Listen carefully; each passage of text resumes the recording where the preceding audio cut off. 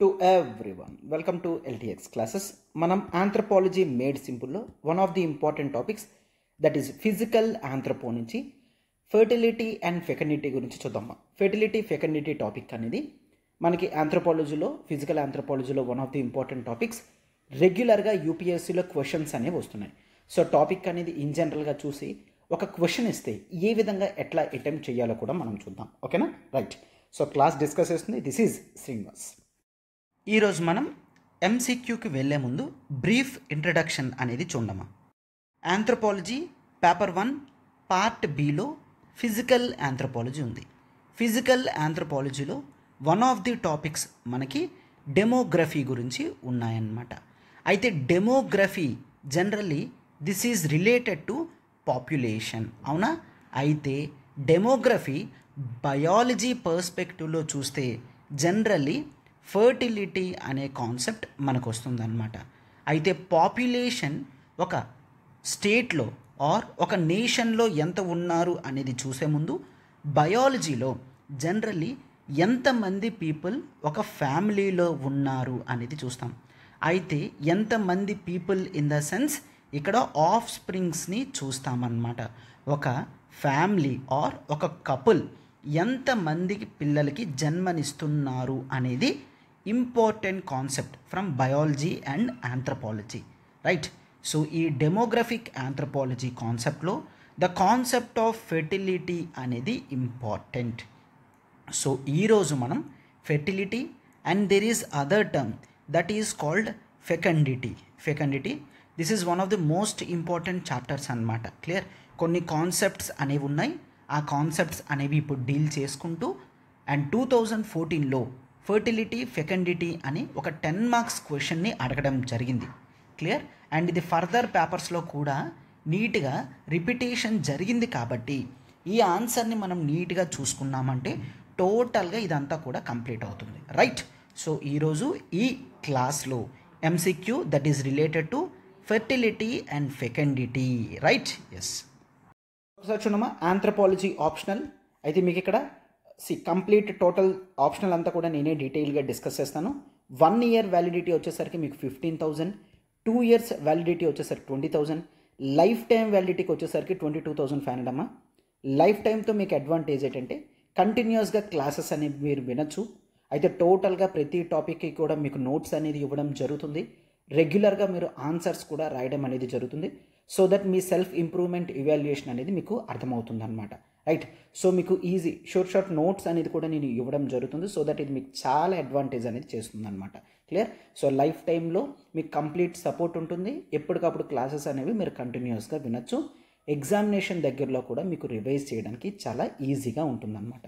Right అయితే ఇది thirty first October అంటే ఈ రోజు తన లాస్ట్ రోజు అనమాట సో ఇమీడియట్లీ మీరు జాయిన్ అవ్వాలనుకుంటే ఇమీడియట్గా జాయిన్ అవ్వండమా సో మీకు ఏ డౌట్ ఉన్న ఈ నెంబర్కి మీరు కాల్ చేయగలరు. Seven eight nine three eight nine nine double five three టోటల్గా ఆప్షనల్ అంతా కూడా నేను దగ్గరుండి మీకు అన్ని చూసుకోవడం అనేది జరుగుతుందమ్మా.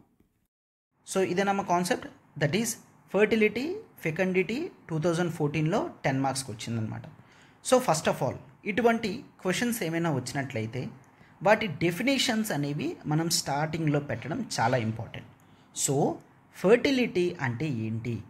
Actual number of children born to an individual దీన్ని సింప్లీ ఫర్టిలిటీ అని అంటాం. సో ఒక ఫీమేల్ తన లైఫ్లో ఎంతమంది పీపుల్కి జన్మనిస్తుంది అనేది మనం ఫర్టిలిటీ అని అంటాము. గుర్తుంచుకోండి యాక్చువల్ నెంబర్ ఆఫ్ చిల్డ్రన్ అని అంటామన్నమాట. See an individual a couple or population clear ఒక స్పెసిఫిక్ పీరియడ్ ఆఫ్ టైంలో ఒక ఇండివిజువల్ ఒక కపుల్ ఎంతమంది పిల్లలకి జన్మనిస్తారో దాన్ని ఫెర్టిలిటీ అని అంటాము. ఇది రిప్రొడక్టివిటీ అవుట్పుట్ని చూపిస్తుంది. అంటే ఒక ఫిమేల్ టూ చిల్డ్రన్కి జన్మనిస్తుందా?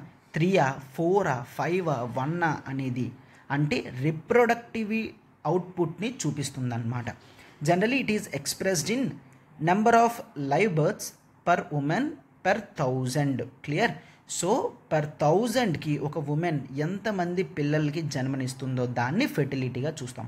పర్ హండ్రెడ్ కాదు పర్ థౌజండ్ అని గుర్తుంచుకోండి అనమాట క్లియర్ ఇక్కడ స్పెసిఫిక్ పీరియడ్ ఆఫ్ టైం అన్నాం కదా.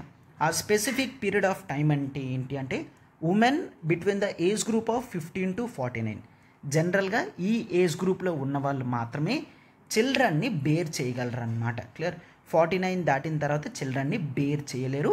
Because of few biological changes with in the body of females clear so దీన్ని ఫెర్టిలిటీ అని అంటాము. జనరల్లీ ఈ ఫెర్టిలిటీ అనేది డిఫరెంట్ ఫ్యాక్టర్స్ మీద ఆధారపడి ఉంటుంది. ఒకటి సోషల్ ఫ్యాక్టర్స్ అంటే ఒక ఫీమేల్ ఎటువంటి సొసైటీలో ఉంది? మేల్ డామినేటెడ్ సొసైటీలో ఉందా? ఫీమేల్ డామినేటెడ్ సొసైటీలో ఉందా అనేది important for example male dominated సొసైటీలో ఉంటే కపుల్ జనరల్లీ ఒక మేల్ ఆఫ్ స్ప్రింగ్ పుట్టినంత వరకు కూడా ఎక్కువ మంది పిల్లల్ని కంటూనే ఉంటారు. అవునా? అదే ఫిమేల్ డామినేటెడ్ సొసైటీ అయితే దే డోంట్ డిస్టింగ్విష్. ఒక మేల్ కావాలా ఫిమేల్ కావాలా అని ఆలోచించరు. వాళ్ళు వన్ ఆర్ టూ అని అనుకుంటే ఇంకా ఆగిపోతారనమాట క్లియర్? సో సోషల్ ఫ్యాక్టర్స్ అనేవి ఫెర్టిలిటీ రేట్ని డిసైడ్ చేస్తాయి. And cultural factors. Clear? Different కల్చర్స్లో ఆఫ్ స్ప్రింగ్స్ని డిఫరెంట్గా చూస్తారు. ఆ కల్చరల్ చేంజెస్ అనేవి కూడా ఇన్ఫ్లుయెన్స్ చేస్తాయి. And economic factors economic factors ఏంటి? జనరల్లీ వాళ్ళ ఎకనామిక్ స్టేటస్ బట్టి కొంతమంది పూర్ పీపుల్ అంటే ఎక్కువ మంది పిల్లల్ని మనం పోషించలేము అని ఆగుతారు అదే కొంతమంది ఈవెన్ పూర్ పీపుల్ అయినా ఏం చేస్తారు? జనరల్లీ ఎక్కువ పీపుల్ని కన్నట్లయితే వాళ్ళు ఎక్స్ట్రా జాబ్ చేసి ఇంటికి కొంత అమౌంట్ తీసుకొస్తారు అని కడతారు. మిడిల్ క్లాస్ ఫ్యామిలీ అయితే జనరలీ వన్ ఆర్ టూ చిల్డ్రన్కి ఆగుతారనమాట రైట్? అంటే ఎకనామిక్ ఫ్యాక్టర్స్ అనేది ఇంపార్టెంట్ రోల్ ప్లే చేస్తుంది. And health care conditions. Female యొక్క హెల్త్ బాగున్నట్లయితే ఎక్కువ మంది చిల్డ్రన్ పుట్టే ఛాన్సెస్ ఉంటాయన్నమాట. వాళ్ళ దగ్గర రిప్రొడక్టివ్ అవుట్పుట్ అనేది ఎక్కువ ఉంటుంది. ఒకవేళ ఫీమేల్ హెల్తీగా లేకపోతే ఆఫ్ స్ప్రింగ్స్ ఎక్కువ మంది పుట్టరు అండ్ ఆమె బేర్ చేసే కెపాసిటీ కూడా ఉండదన్నమాట right? So this is about fertility and next fecundity అన్నాడు కదా. ఫెకండిటీ డెఫినేషన్ రాస్తాం చూడండి. ఫెకండిటీ అంటే it is the biological capacity or potential of an individual or a population to reproduce see ఫెర్టిలిటీకి ఫెకండిటీకి డిఫరెన్స్ ఏంటి అంటే ఫెకండిటీలో ఉన్నప్పుడు ఒక ఫిమేల్ ఒక తనకి కెపాసిటీ ఉందా లేదా తన ఊంబ్లో క్లియర్ తన ఊంబ్లో ఒక చైల్డ్ని హోల్డ్ చేయగలదా లేదా అనేది ఫెకండిటీ అయితే see every fecund women cannot be fertile ఏంటి? లెట్స్ టేక్ ఒక ఫీమేల్ ఒక బేబీని సిక్స్ మంత్స్ హోల్డ్ చేసింది. సిక్స్ మంత్స్ తర్వాత ఈ బేబీ చనిపోయింది. ఓకే తర్వాత నెక్స్ట్ మరొక బేబీ పుట్టింది. సెవెన్ మంత్స్ ఉండి ఈ బేబీ కూడా చనిపోయింది. అండ్ నెక్స్ట్ మరొక బేబీ సిక్స్ మంత్స్ ఉండి చనిపోయింది. అంటే yes she fecund but she is not fertile fertile అంటే ఏంటి? లైవ్ బేబీస్ పుట్టాలన్నమాట. అంటే బయటకు బేబీ పుట్టి బ్రతికితే అప్పుడు ఫెర్టైల్ అని అంటామన్నమాట. బేబీ బయటికి రాకపోతే biological potential she can able to hold బేబీని హోల్డ్ చేస్తుంది. బట్ నైన్ మంత్స్ వరకు హోల్డ్ చేసి ఒక లైవ్ బేబీని డెలివర్ చేయలేకపోతుంది. కానీ బేబీని హోల్డ్ చేసే కెపాసిటీ ఉంది. దాన్నే biological potential or biological capacity అని అంటాం. ఫెకండిటీ అని అంటాం. క్లియర్ ఫెకండిటీ అంటే ఎబిలిటీ ద బయలాజికల్ కెపాసిటీ చూడండి. The ability to conceive and produce offspring clear so total cycle అంతా కూడా బేబీస్ని హోల్డ్ చేసి లైవ్గా డెలివర్ చేస్తే ఫెర్టిలిటీ డెలివర్ చేయలేకపోతే she may be fecund but she is not fertile clear చూడండి. Fecundity is influenced by various factors fecundity అనేది generally age చెప్పాను కదమ్మా fifteen to forty nine age group ఉన్నవాళ్ళు జనరల్లీ ప్రొడ్యూస్ చేయగలరు.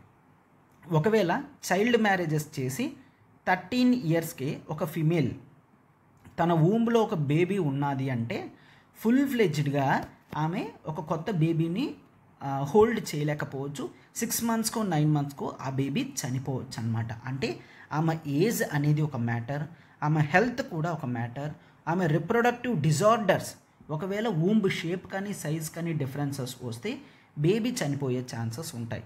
హార్మోనల్ ఫ్యాక్టర్స్ కానీ genetic factors కానీ చాలా ఉంటాయన్నమాట క్లియర్ సో ఫెకండిటీకి ఫెర్టిలిటీకి ఈ డిఫరెన్స్ అనేది గుర్తుంచుకోండి. ఫెర్టిలిటీ ఎంతమంది లైవ్ పీపుల్ ఉన్నారు? ఫర్ థౌజండ్ చూస్తాం. ఫెకండిటీ అంటే ఏంటి? ఎబిలిటీ. అసలు ఎబిలిటీ లేకపోతే బేబీస్ రారు. ఓకే. ఎబిలిటీ ఉన్న కొంతమంది బేబీస్కి డెలివర్ చేయలేరు. వాళ్ళని ఫెకండ్ అంటాం బట్ ఫెర్టైల్ అని అన్నమన్నమాట రైట్? ఎస్. చూడండి. ఆంథ్రోపాలజికల్ కాంటెక్స్లో సి ఫెర్టిలిటీ ఫెకండిటీ అనేది ఒక జనరల్ బయలాజికల్ కాన్సెప్ట్. బట్ మనం ఆంథ్రపాలజీలో రాస్తున్నాం కాబట్టి ఆంథ్రపాలజీ డైమెన్షన్స్ అనేవి పెట్టాలన్నమాట. ఏంటి? The fertility and fecundity studied of and studied with broader cultural and social frameworks. Clear? Cultural and social ఫ్రేమ్వర్క్స్తో link చేసి చదువుతామన్నమాట. ఏ విధంగా? ఫెర్టిలిటీ అండ్ ఫెకండిటీ అనేవి కొన్ని వాల్యూస్ని సొసైటీలో ఆస్పెక్ట్స్ని కల్చర్స్ని అర్థం చేసుకుంటుంది చూస్తుంది అనే దాని మీద ఆంథ్రపాలజీ స్టడీ చేస్తుందన్నమాట. సో కొన్ని కీ ఇంపార్టెంట్ ఆస్పెక్ట్స్ చూడమ్మా some key aspects of fertility and fecundity cultural and social perspective already చెప్పాను. జనరల్లీ ఒక గ్రూప్ ఆర్ ఫ్యామిలీ యొక్క కల్చరల్ బిలీఫ్స్ కానీ వాళ్ళు నమ్మే నమ్మకాలు నామ్స్ కానీ ప్రాక్టీసెస్ కానీ రిలేటెడ్ టు ప్రొడక్షన్ ఇవన్నీ కూడా ఒక డిజైర్డ్ ఫ్యామిలీ లెట్స్ టేక్ ఒక ఫీమేల్ ఫిక్స్డ్గా ఉన్నారనుకోండి నాకు ఫోర్ మెంబర్స్ చిల్డ్రన్ కావాలి సిక్స్ కావాలి టూ కావాలి వన్ కావాలి అని. వాళ్ళ కల్చరల్ అండ్ సోషల్ ఫ్యాక్టర్స్ అనేవి ఆ నెంబర్ని డిటర్మైన్ చేస్తాయి. సో డిజైర్డ్ ఫ్యామిలీ సైజ్ ఎంత ఉండాలి? ఆర్ ఫెర్టిలిటీ కంట్రోల్ మెథడ్స్ అనేవి ఏవైనా ఫాలో అవుతున్నారా? అన్నీ కూడా చూస్తుందన్నమాట. రైట్ అండ్ రిప్రొడక్టివ్ స్ట్రాటజీస్ అనేది ఇంపార్టెంట్ రోల్ ప్లే చేస్తాయి. ఫర్ ఎగ్జాంపుల్ డిఫరెంట్ సొసైటీస్ ఏ విధంగా కాంట్రసెప్షన్స్ని అర్థం చేసుకుంటున్నారు? అబార్షన్స్ని అర్థం చేసుకుంటున్నారు? ఫర్టిలిటీ రిచువల్స్ని అర్థం చేసుకుంటున్నారు అడాప్షన్ కాన్సెప్ట్ని అర్థం చేసుకుంటున్నారు స్ట్రాటజీస్ని అర్థం చేసుకుంటున్నారు అనేది most important. For example take adoption. Okay ఒక ఫ్యామిలీ ఉంది. ఆ family they want to have four children. Four children కావాలి అని అనుకున్నారు. ఓకే అయితే లెట్స్ టేక్. ఒక చిల్డ్రన్ పుట్టిన తర్వాత ఒక చిల్డ్రన్ పుట్టిన తర్వాత ఒక త్రీ చిల్డ్రన్ని అడాప్ట్ చేసుకుంటే సరిపోతుంది కదా? అప్పుడు కూడా నెంబర్ ఫోర్ అవుతుంది కదా? But no. ఈ సొసైటీలో అడాప్షన్కి అంత ఇంపార్టెన్స్ లేదు అంటే అక్కడ మొత్తం డెమోగ్రఫీ తేడా వస్తుంది. సో ఆంథ్రపాలజీలో ఈ డిఫరెంట్ రిప్రొడక్టివ్ స్ట్రాటజీస్ మీద స్టడీ చేయడం అనేది జరుగుతుందన్నమాట. అండ్ ఈ కాన్సెప్ట్స్లో anthropology also study the reproductive health and medical anthropology. Medical facilities availables ఎంతవరకు ఉన్నాయి? రిప్రొడక్టివ్ హెల్త్ మీద ఇండివిజువల్స్కి నాలెడ్జ్ ఎంత ఉంది? క్లియర్ సో వాళ్ళ కల్చరల్ బిలీఫ్స్ ఏమైనా ఉన్నాయా? ట్రెడిషనల్ మెడిసిన్స్ ఏమైనా ఉన్నాయా? బయోమెడికల్ ప్రాక్టీసెస్ ఏమైనా ఉన్నాయా? ఇన్ఫెర్టిలిటీ ట్రీట్మెంట్స్ ఏమైనా ఉన్నాయా? ఇట్లా ప్రతీదీ కూడా చూస్తారు. బోత్ మెడికల్ చూస్తారు అండ్ కల్చరల్ ఆస్పెక్ట్స్ కూడా. ఈ fertility and fecundity in anthropology చూస్తామన్నమాట. అంటే ఆంథ్రపాలజిస్టులు అనేవాళ్ళు వీటన్నిటినీ స్టడీ చేస్తారు. And kinship and lineage. Generally fertility fecundity అనేది కిన్షిప్ సిస్టమ్కి లింక్ అయి ఉంటుందన్నమాట. క్లియర్? వాళ్ళ సోషల్ ఫ్యాక్టర్స్ కానీ ఎకనామిక్ ఫ్యాక్టర్స్ కానీ కల్చరల్ ఫ్యాక్టర్స్ ఆర్ వాల్యూస్ కానీ ప్రతిదీ ఇన్ఫ్లుయెన్స్ చేస్తాయి. ఫర్ ఎగ్జాంపుల్ ప్రీవియస్ త్రీ జనరేషన్స్లో కూడా త్రీ మేల్స్ ఉన్నారు అనుకోండి. So next generation at least three males ఉన్నంత వరకు కూడా ఆఫ్ స్ప్రింగ్స్ని జన్మనిస్తూనే ఉంటారనమాట సో ఇక్కడ ఫెర్టిలిటీ అండ్ ఫెకండిటీ అనేది కిన్షిప్ అండ్ లీనియేజ్ మీద ఆధారపడి ఉంటుంది. వాళ్ళ ఫ్యామిలీ పొజిషన్ ఏంటి? స్టేటస్ ఏంటి? ప్రీవియస్ జనరేషన్స్లో ఏం చేశారు? ఇలా ప్రతిదీ చూస్తామన్నమాట. రైట్ సో ఆంథ్రపాలజిస్ట్ అనేవాడు ఫస్ట్ ఈ కిన్షిప్ అండ్ లీనియేజ్ ఇన్ఫ్లుయెన్స్ ఎంతవరకు ఫీమేల్స్ మీద ఉంది? అవి ఏ విధంగా ఫర్టిలిటీ ఫెకండిటీని ఇన్ఫ్లుయెన్స్ చేస్తుంది అనేది చూస్తాం. చూడండి. కల్చరల్ వేరియేషన్స్ అన్నమాట. సో డిఫరెంట్ కల్చర్స్ ఉన్న చోట different methods perceptions of reproductive roles responsibilities అనేవి ఉంటాయి. సో ఫ్యామిలీ ప్లానింగ్ అంటే వాళ్ళకి ఏమో తెలుసా?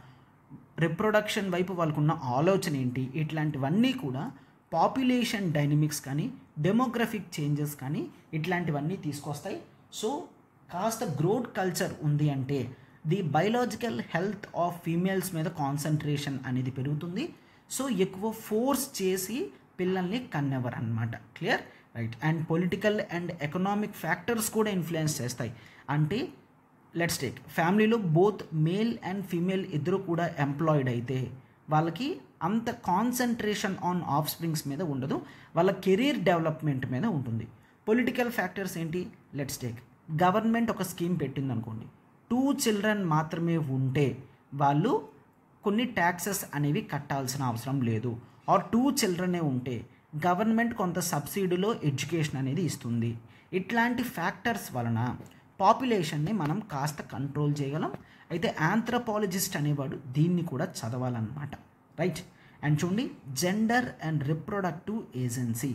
So they generally try the roles of gender కానీ reproductive agency in shaping fertility and fecundity so generally they'll observe women's reproductive choices చాలాసార్లు ఉమెన్కి ఎటువంటి రిప్రొడక్టివ్ చాయిసెస్ అనేవి ఇవ్వరు.